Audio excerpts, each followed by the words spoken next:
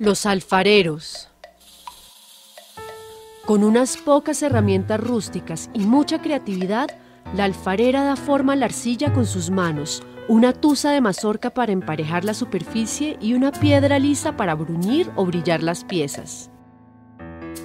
Siglos atrás, sus ancestros indígenas encontraron en las arcillas del lecho del río Magdalena el material ideal para construir viviendas, vasijas utilitarias y ceremoniales, e incluso urnas funerarias para enterrar a sus muertos.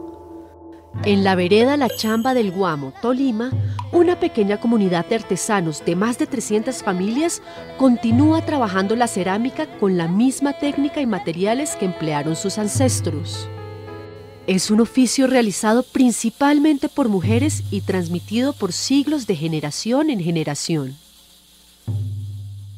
Los hombres colaboran extrayendo la arcilla, macerándola y amasándola, y también en el proceso final de horneado y ahumado de las piezas.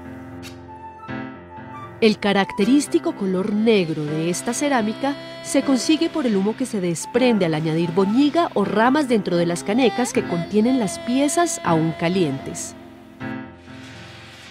A comienzos del siglo pasado, la mayor parte de esta cerámica era transportada a través de balsas o canoas a distintos puertos sobre el río Magdalena.